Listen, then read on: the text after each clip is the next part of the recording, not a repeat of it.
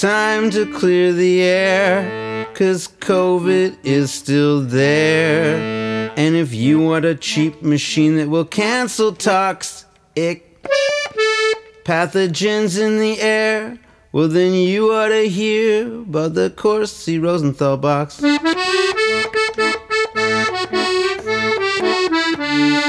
First, you get your fan, keep the box that it came in. You'll need it for the floor. Now get filters, count 'em four. What rating? MERV 13. The hardware store will know what you mean. Of course, you'd be a schmuck if you don't have tape of duck. Now add a box cutter, you're on your way to warding off the pox. This is everything you need to build a Corsi Rosenthal box. With the filters, build the shell.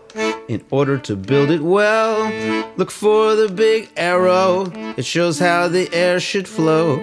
First filter, you begin with the arrow pointing in. Then build a filter fence by butting up against. Tape it up so every filter interlocks. Now you've got four strong walls for your Corsi Rosenthal box. Don't worry, there's not much more. But you've got to make a floor. That shouldn't come as a shock, since that's why you kept the box.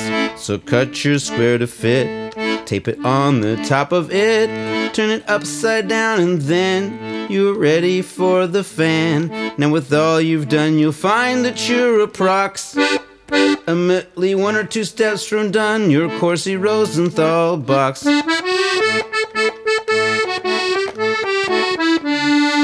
Before you do the rest, you've got to give the fan a test. Cause you'll feel like such a jerk if it turns out not to work. When you've used up all that tape to attach it to the crate and covered gaps and slits with tape and cardboard bits. Oh, not to complicate, just make a little slit in the tape so the cord can escape, or else the thing will never go. Make a little slit, then cut another bit.